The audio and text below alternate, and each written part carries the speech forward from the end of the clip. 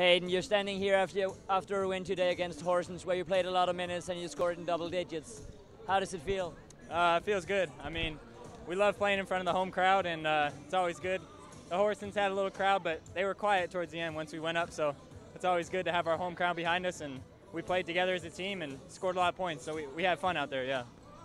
You had a block in the, in the second quarter and a couple of dunks in the first quarter. How would you rate your own performance today? Uh, I think it, it's better than it's been uh, in the past couple games. I just tried to come out and play harder today, you know, do all the little things, get the on the offensive glass, get the hustle, dunks, and stuff like that. So I thought I played better today. Yeah.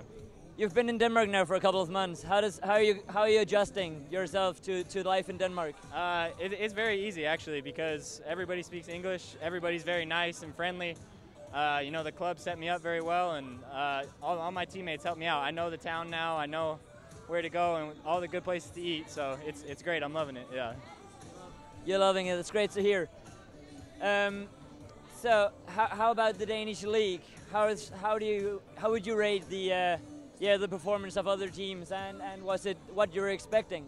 Um, I, I kind of knew coming in that uh, the the European games would be a higher level, um, but you know like this team played us well for three quarters and then uh, they're one of the better teams in the league. Um, there's some that are lower that that we should beat pretty good, you know. But uh, it, it's it's decent competition uh, to set us up for the European games. So, um, but we just got to come and play our game every night, regardless of who we're playing. So.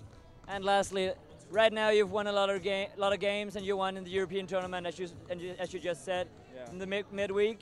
How is the atmosphere in in uh, in the changing room? Oh, it's great. Uh, guys are always laughing.